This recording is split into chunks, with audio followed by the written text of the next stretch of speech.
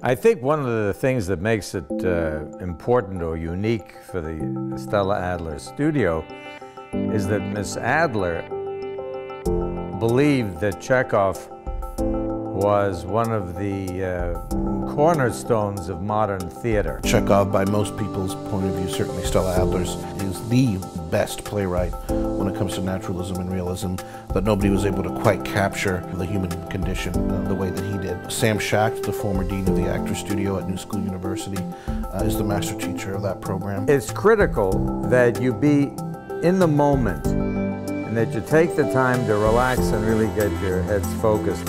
You have to really own the moment, not just the character's moment.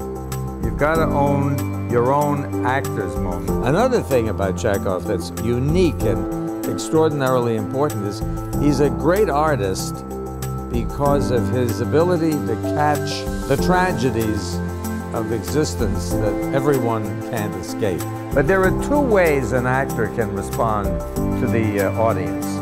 You can either let the audience kill you, or you can let them inspire you to go further than you go on your own. It's just that it, it respects the complexity of reality, perhaps more than any other playwright. That's why I think Chekhov is special.